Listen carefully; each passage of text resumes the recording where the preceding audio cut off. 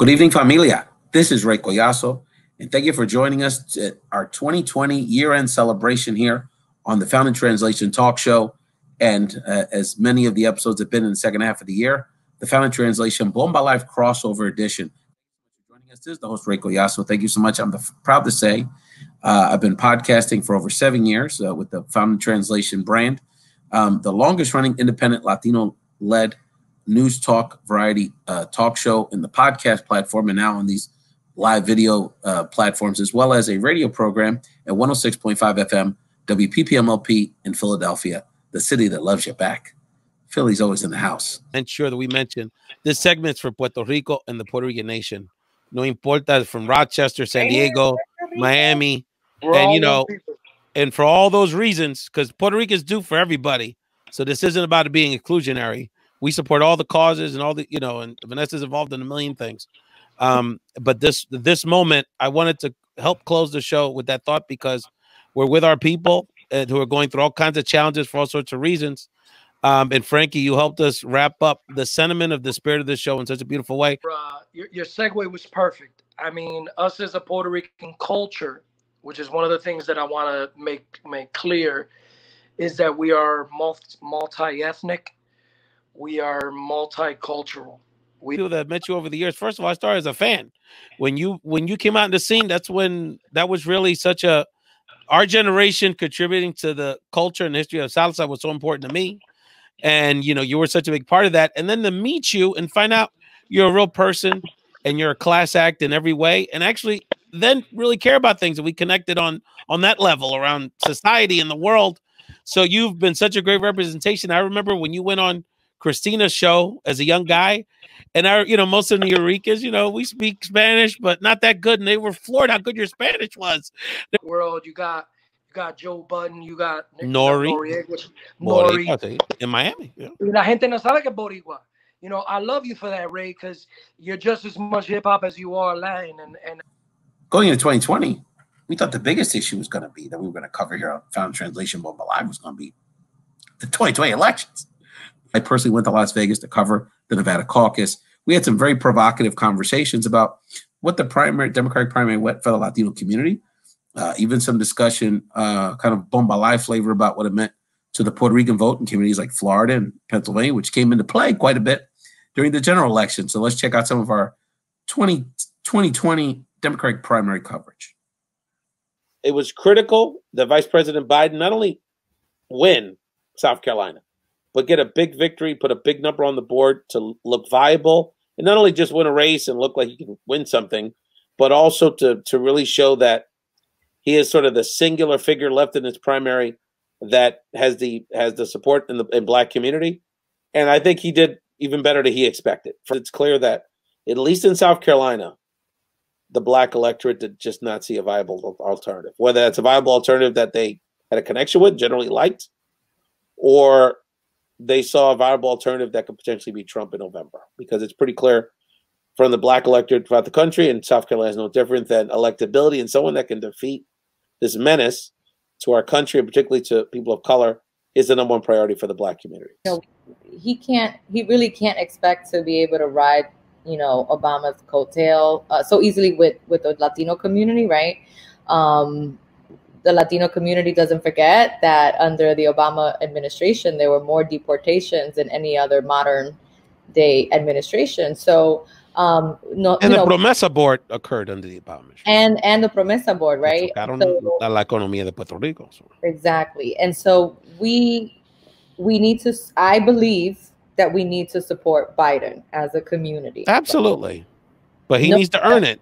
No question. After the Democratic primary was decided March 2nd, we needed to take a break from the politics a little something. I mean, you know, it never goes away. But we had to do a little something, something. And quickly it became apparent that our seven year anniversary of Found in Translation Talk Show was coming up in April. And I wanted to do very something very special for y'all. Stop in. like honestly, I was just thinking here that Repo, like Rafael Collazo is officially like the uh, Puerto Rican Simon Cowell because all we got is just Callan up in the streets. Banger after banger after banger after banger. Oh, yes, Weba. That was beautiful, Koger. Thank you. And I feel like you're the Don Francisco of radio, like Sábado Gigante with all the. You know, he's a little creepy, but we'll, we'll find a better analogy. The good, the good, happy Yes. side, the yes, talented part. yes. But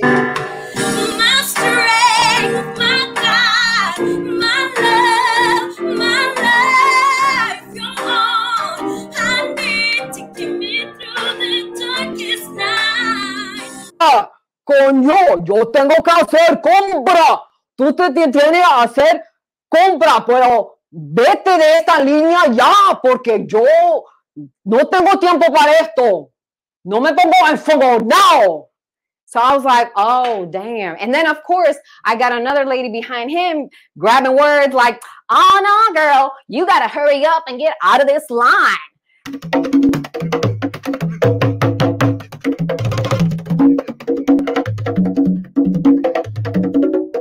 This is for the poets and their impossibly blank pages for the potential of youth and verse to turn rage to hope.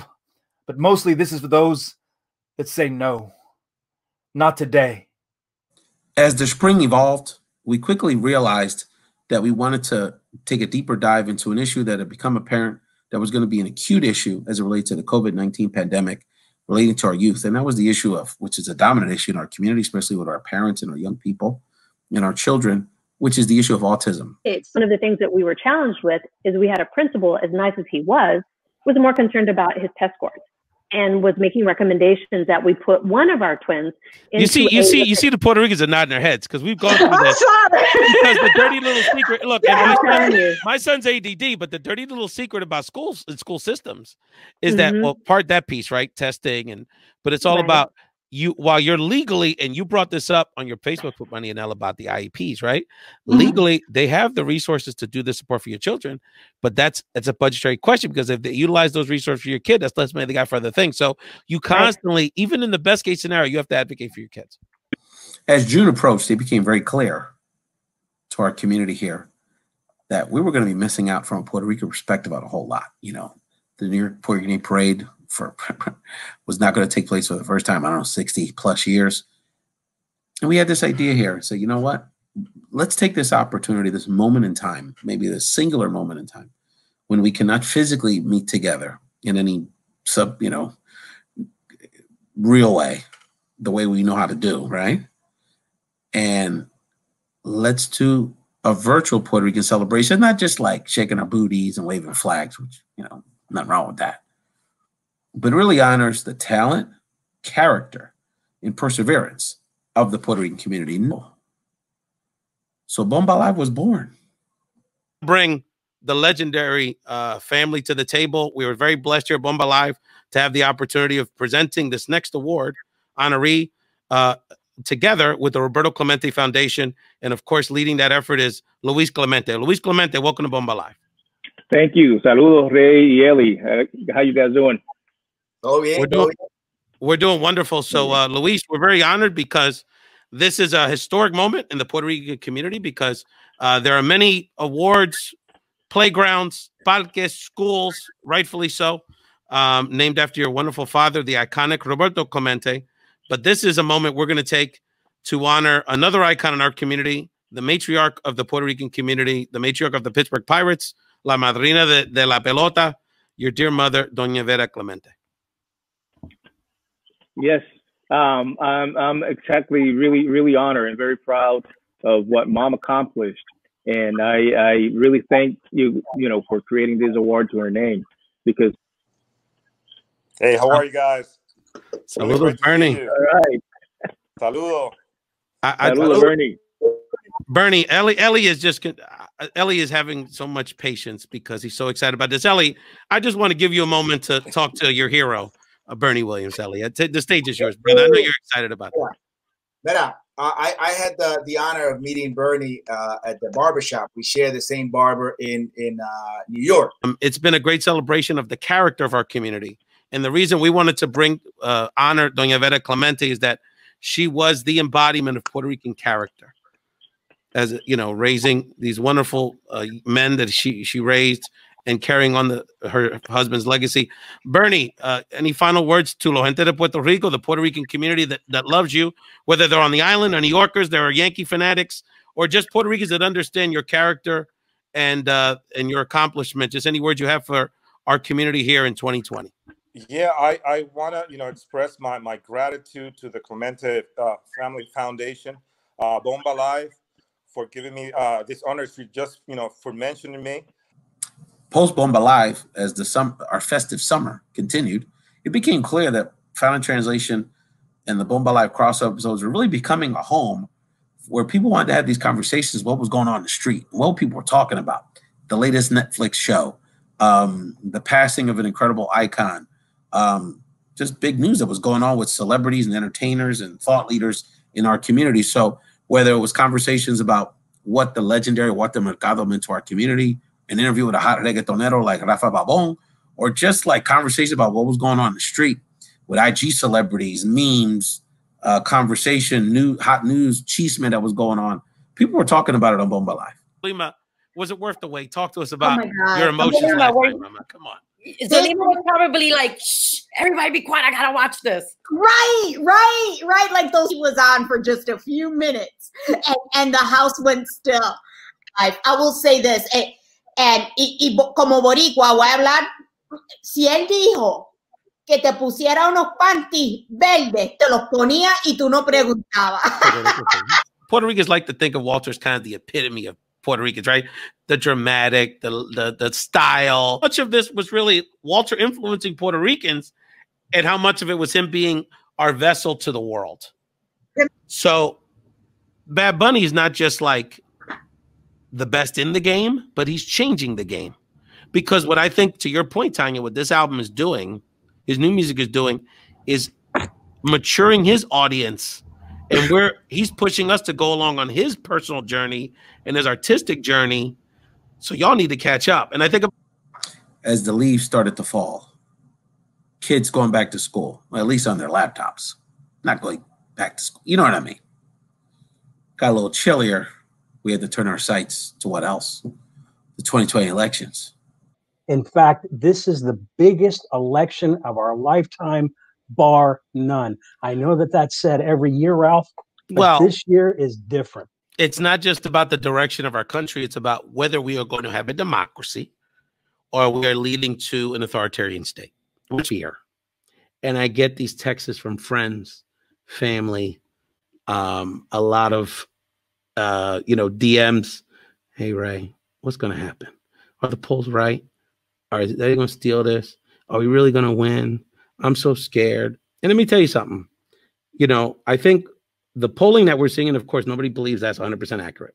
But the fact that we're in this position electorally, I think we should all understand that didn't just happen because Trump's a bad person or Biden's a fantastic candidate. It happened because not only the work that's happened this year to engage communities like Vanessa does, that oftentimes don't get the preferred candidate they want in these in these cycles, or rarely do, frankly, but they persist to come on to continue to build the movement. But this is also, and I'm thinking about places like Arizona and even in Florida, we're talking about decades plus activism that's led us to this moment where we can feel like we have a very strong opportunity to win this election. I can't take the anxiety away from you because I have it too. Hey, in this time period, I'm gonna keep it real. I've had two health issues, spells in the last six months, and partially the pandemic, of course, but partially stressing about this whole situation. Be honest about it. I care because I know what's happening, and and how much this these people can continue to hurt all of us on some level as they do with their no importa about a pandemic that kills a thousand people Americans a day.